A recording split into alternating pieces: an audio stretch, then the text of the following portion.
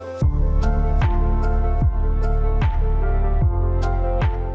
Welcome back to my channel Math School. In today's video, let us solve question number 4 from exercise 7.1, chapter 7, coordinate geometry. In my previous videos, I've completed the distance formula, examples 1 to 5 and questions 1 to 3 from the same exercise. If you have not watched these videos, do find the link in the description box below or click the I button above Sunday. So now quickly, let us begin with the video. Question number 4 from exercise 7.1, chapter 7, coordinate geometry says, check whether coordinates of 3 points are given that is 5 comma minus 2 6 comma 4 and 7 comma minus 2 are the vertices of an isosceles triangle. So here they have given us three vertices or points and we have to check whether these form an isosceles triangle. So first of all let us see what is an isosceles triangle. Any triangle which has two equal sides is called as an isosceles triangle. For example if you consider a triangle abc here any two sides must be equal right? Here if we consider a AB equal to AC or if AB is equal to BC or if BC is equal to AC, any two sides must be equal. We are assuming if AB is equal to AC, then we can say that triangle ABC is an isosceles triangle. So here let us assume the three vertices or the points given as the point A, point B and point C. So let us write down let point A be 5 comma minus 2, point B be 6 comma 4 and point C be 7 comma minus 2 be the given points. So here the point A is 5 comma minus 2, point B is 6 comma 4 and point C is 7 comma minus 2. Right, so here we will apply the distance formula and find out the distance AB, BC and AC and then we can determine whether any two sides of this triangle is equal or not. So let us write down the distance formula first. So distance formula is given by square root of x2 minus x1 the whole square plus y2 minus y1 the whole square. So to find out the distance between point A to B for AB, let us assume point A to be x1 y1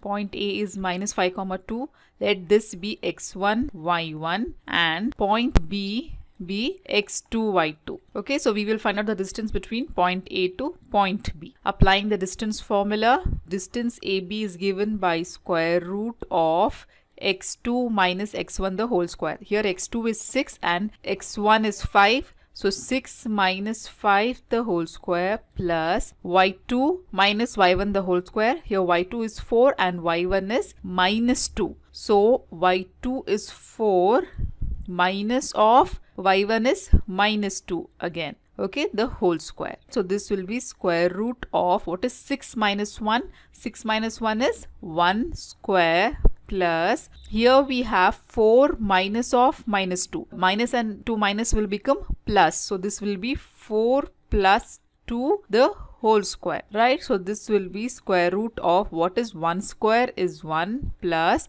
4 plus 2 is 6 and 6 square is 36 right so 36 plus 1 will be AB will be equal to square root of 37. Now similarly, let us find out the distance AC. Find out the distance AC. Let us assume again point A to be x1, y1 and point C to be x2, y. Point A is given by 5 comma minus 2. Let this be x1, y1 and point C given by 7 comma minus 2 be x2 y2 here you can assume any one of the point to be x1 y1 or x2 y2 so let us find out the distance between point a to c by applying the distance formula. So ac is given by square root of what is x2 minus x1 so here x2 is 7 and x1 is 5 so 7 minus 5 the whole square plus y2 minus y1 here y2 is minus 2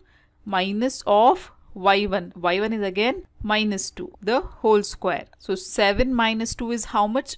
2. Since 7 is a greater number, we are taking plus 2 the whole square plus we have here minus 2. Here minus into minus will become plus 2 the whole square. So this will be square root of 2 square is 4 plus minus 2 and plus 2 will become 0. So this is 0 square will be 0. Therefore, AC value will be equal to square root of 4. Square root of 4 is how much? 2. Now let us find out BC. Let us assume point B to be x1, y1 and point C to be x2, y. So B given by 6, comma 4 be x1, y1 and the point C given by 7 comma minus 2 be x2 y. So let us find out the distance of BC by applying the distance formula where x2 minus x1 here 7 minus 6 the whole square plus y2 minus y1 here y2 is minus 2